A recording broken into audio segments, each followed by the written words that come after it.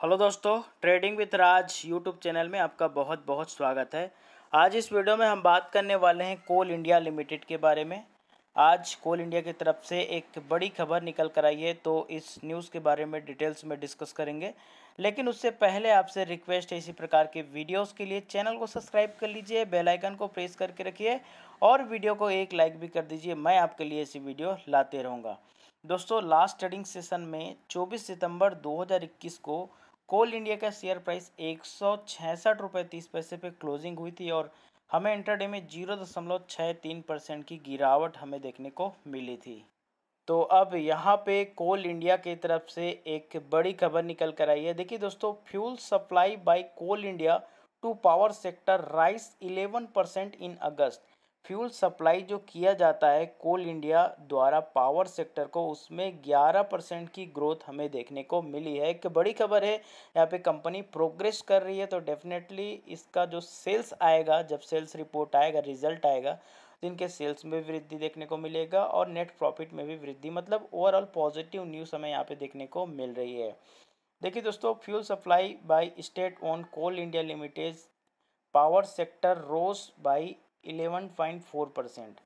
और ये thirty eight point six one million tons है लास्ट मंथ में मतलब अगस्त में thirty eight point six one. वहीं पिछले साल ये लगभग थर्टी फोर मिलियन टन था।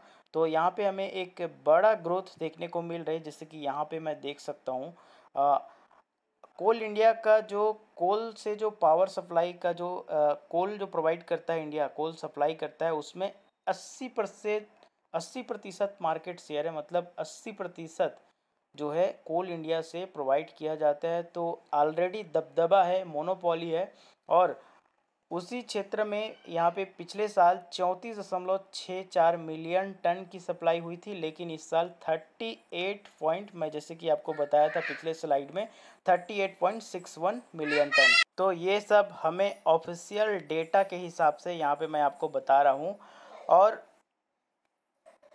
और अगर यहाँ पे मैं फ्यूल सप्लाई की बात करूँ तो अप्रैल, अगस्त पीरियड में यहाँ पे करंट फाइनेंशियल ईयर में जो इंक्रीज हुआ है, वो सत्ताईस दशमलव दो परसेंट का इंक्रीमेंट हमें यहाँ पे देखने को मिल रहा है फ्यूल सप्लाई के क्षेत्र में।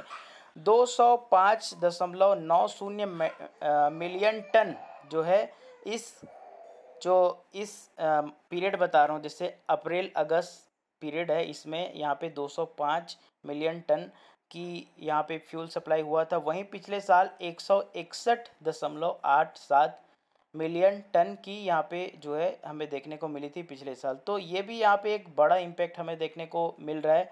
तो दोस्तों, इस वीडियो में तो इतना ही न्यूज़ है, मैं आपके लिए इसी वीडियो लाते रहूँगा। इसके लिए आप चैनल को सब्सक्राइब कर लीजिए बेल आइकन को प्रेस करके रखिए और वीडियो को एक लाइक भी कर दीजिए। मैं आपके लिए इसी वीडियो लाते रहूँगा। मिलता हूँ फिर एक नए वीडियो के साथ। तब तक के लिए बाय बाय थैंक यू